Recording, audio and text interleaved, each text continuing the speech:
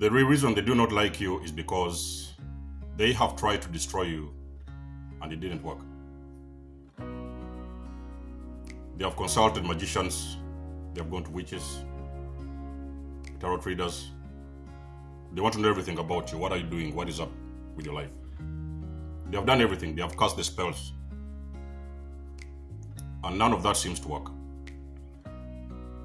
Now they're wondering what is so special about you that whatever they try to do isn't working? The only thing they don't realize is that they're playing and they're messing up with the chosen one.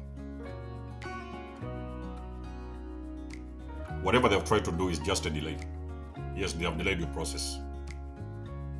They have set things along your path, caused you illnesses, caused you car accidents, difficulties. Lots of, lots of you guys have lost your money and everything, but at the end of the day, you're still bouncing back and you're still getting everything that they've taken from you multiplied. People will only come close to you just to see, to get an update of what do they need to destroy you. So a lot of times you've been thinking these guys are friends, they are very close to you, your family members and things like that. But most of the times, they have been hating behind closed doors. They never wanted you. They never liked you. They never loved you in the first place. You cannot destroy a chosen one. You cannot destroy a chosen one. The more you try, the harder you try, is actually the more karma you get for yourself because everything is coming back to you tenfold.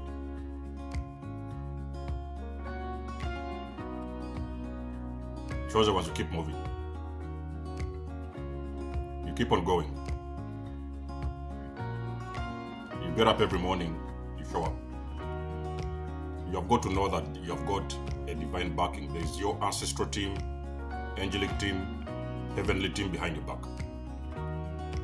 They cannot break the spirit within you, and that is what is making them puzzle because they realize they cannot break that spirit, that spirit that is within you. You cannot corrupt the spirit of a chosen one and you cannot break the spirit of the chosen one because those individuals, they're divine beings and they're here for a purpose.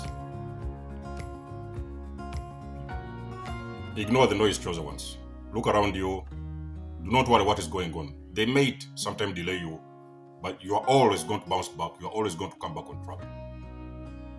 And you always go going to carry on and do what it is that you came here to do because you already know, chosen ones, you've got a very big purpose on this planet.